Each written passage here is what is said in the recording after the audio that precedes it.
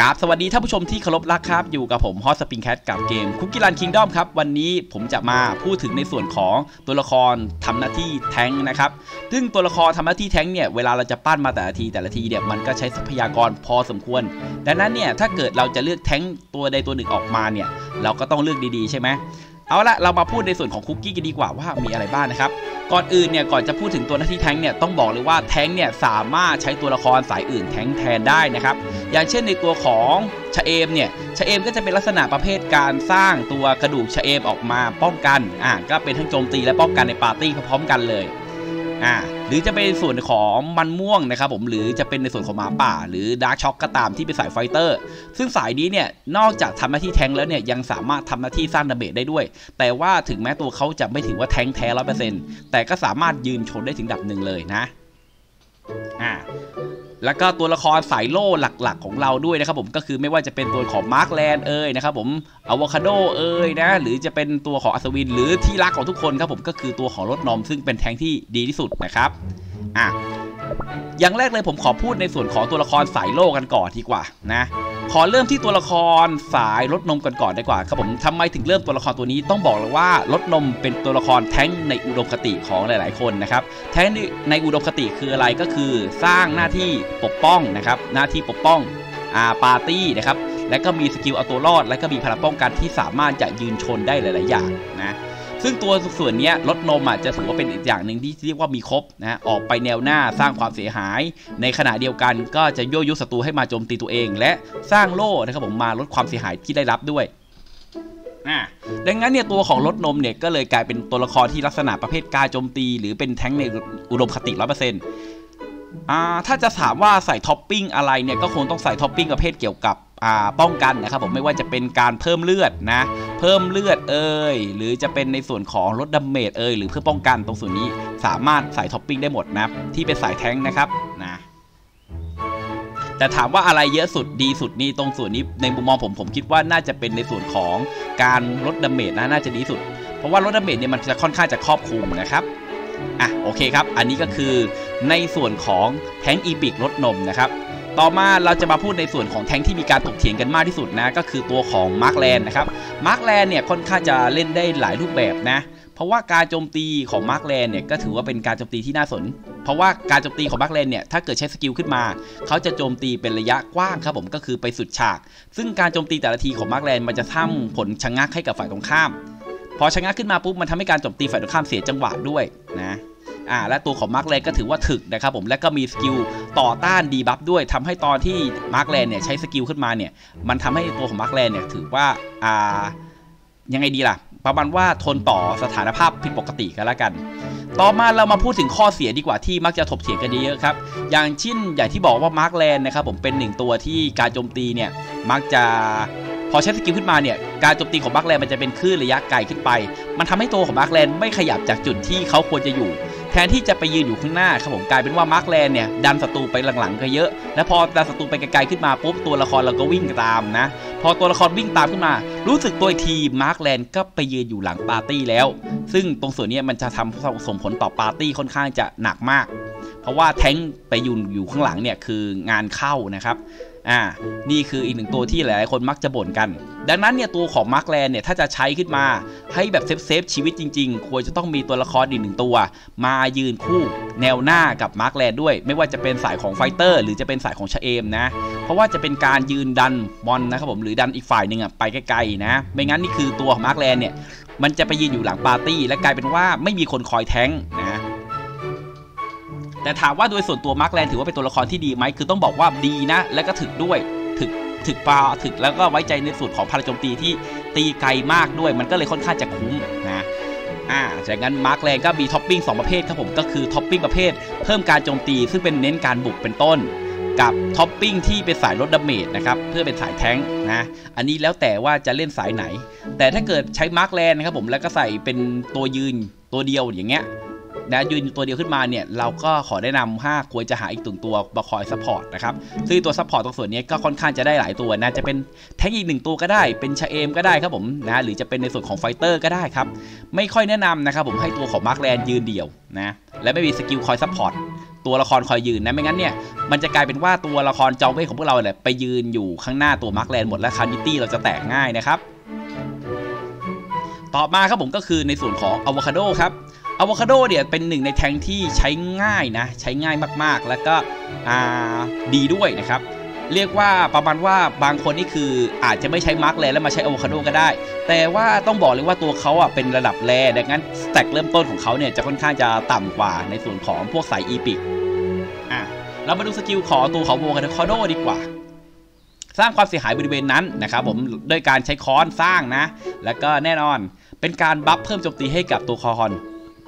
คุกกี้ที่มีพลังตีมากที่สุดด้วยนะครับ มันทำให้ตัวอะโวคาโดเนี่ย นอกจากเป็นการยืนแท้งธรรมดาแล้วเนี่ย ยังคอยเพิ่มโจมตีให้กับคุกกี้ทำให้เราสามารถใครที่ชอบเล่นคุกกี้สาย ulti แรงๆเดียวๆนะ ก็ถือว่าตัวนี้เป็นอีกตัวที่ดีมากครับ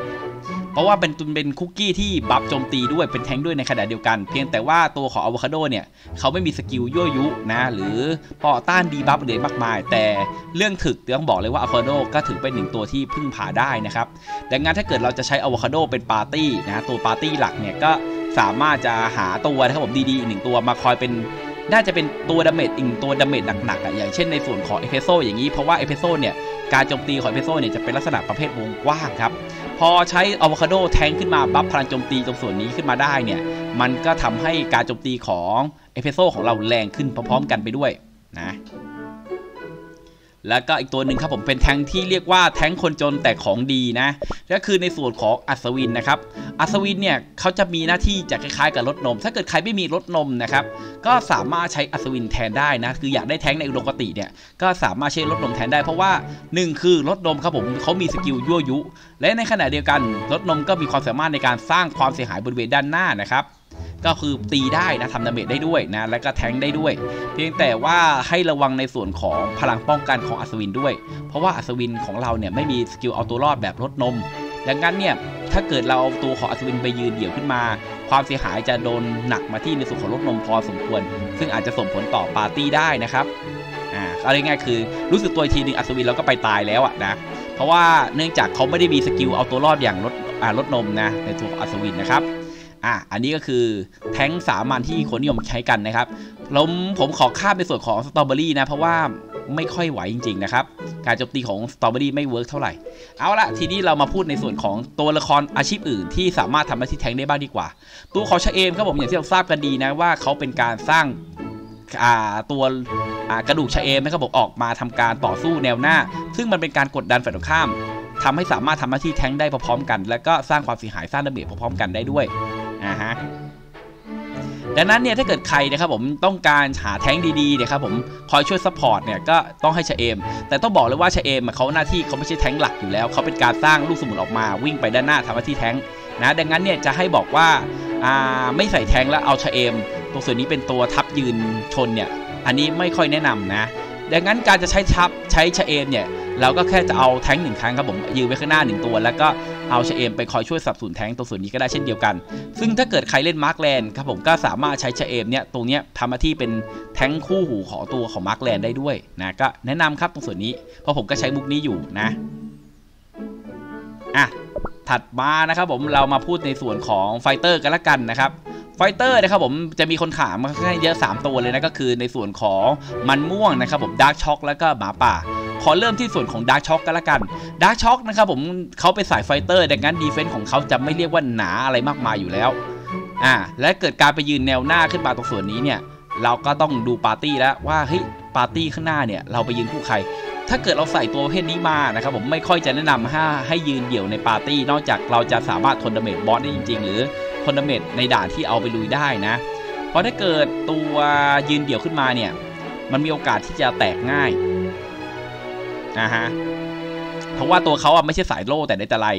ดังนั้นถ้าจะใส่ท็อปปิ้งจริงก็คือเน้นในส่วนของถ้าอยากให้เป็นแทงครับผมก็แนะนำให้เป็นส่วนของลด damageนะ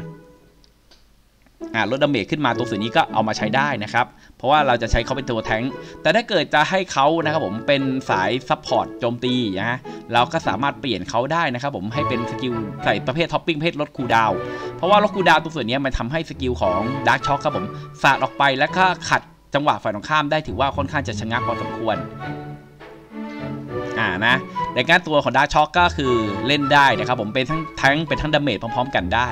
เลือกเอาตามความเหมาะสมนะ ถัดมาต่อจากดาร์กช็อกเสร็จปุ๊บเราก็มาพูดในส่วนของคู่ที่คู่หูที่มีการถกเถียงกันมากสุดก็คือในส่วนของมันม่วงกับหมาป่านะครับถามว่าตัวละครตัวไหนดีกว่ากันนะ ต้องบอกเลยว่าถ้าเอาไปลุยด่านทั่วไปนะครับผมต้องบอกว่าหมาป่าเนี่ยถือว่าน่าสนใจมาก ความสามารถในการเปลี่ยนร่างเป็นหมาป่าเพิ่มเลือดนะครับผมแล้วก็ออกไปโจมตี การโจมตีหนึ่งทีจะส่งผล 2 รอบเนี่ยค่อนข้างจะถือว่าดีมากเลย อัดหนักมากครับตรงส่วนนี้นะอ่าดังนั้นเนี่ยถ้าเอายิงหมาป่าเนี่ยก็จะนิยมใส่อะไรบ้างครับผมก็จะนิยมใส่พวกท็อปปิ้งประเภทอ่าเพิ่มเลือดหรือลด cooldown นะ ถ้าเกิดใส่ประเภทลด cooldown เนี่ยตอนแปลงร่างก็ถือว่าจะได้ buff โบนัสเพิ่มมาด้วย เพราะว่าตอนที่เขาแปลงร่างหมาป่าเนี่ยเขาจะได้ buff เพิ่มเลือดมา 20%นะครับ เพิ่มพลังที่20%เป็นเวลา 8 วินะ แล้วก็ความเสียหายครับผมก็คือ 206%การโจมตีของหมาป่าจะโจมตีออกมาเป็น double ด้วยนะ ก็ถือว่าเป็นหนึ่งตัวที่ดีมากเอาไว้ลุยได้ดี อ่าก็ถ้าเกิดจะใส่แท้งตรงส่วนนี้ใส่ท็อปปิ้งครับผมในส่วนของหมาป่าก็คงหนีไม่พ้นในส่วนของการเพิ่มเลือด หรือไม่ก็ลด skill นะ เลือกเอาอย่างใดอย่างหนึ่งนะครับ เอาละต่อมาก็คือในส่วนของมันม่วงนะครับ มันม่วงเนี่ยจะเป็นหนึ่งตัวที่มีการพูดถึงค่อนข้างจะเยอะมาก แต่เอาจริงแล้วมันม่วงเนี่ยก็ถือว่าเป็นหนึ่งในแทงที่พึ่งพาได้นะ เพียงแต่ว่าหลายๆ คนอาจจะไปใส่ประเภทลด skill หรือ cooldown skill บ้างมากกว่า เพราะว่ามันม่วงเนี่ยเขาออกไปโจมตีหมุนกิ้วติ้วขึ้นมาเนี่ย มันทำให้การโจมตีแนวหน้าฝ่ายตรงข้ามเนี่ยค่อนข้างจะ ตีลำบากแล้วก็การกระจุกรวมกันเป็นกลุ่มขึ้นมาเนี่ยมันค่อนข้างจะน่าสนใจในการออกท่าไม้ตายเพื่อให้สัมฤทธิ์ผลนะ อืมหลักๆก็จะประมาณนี้นะครับสำหรับการแนะนำตัวแท้งหน้าปั้นนะ ทุกตัวมีดังต่อไปนี้ก็สามารถใครสับสนอะไรก็สามารถวนดูอีกรอบหนึ่งถ้าเกิดใครต้องการจะเสนอความเห็นว่าอยากให้รีวิวคลิปประเภทไหนนะครับ ก็สามารถติดต่อได้มาอีกเช่นเดียวกันนะครับ วันนี้ผมฮัตปีแคทก็ขอตัวลาเพียงแค่นี้ พบกันใหม่คลิปหน้านะครับ วันนี้บ๊ายบายครับ สวัสดีครับ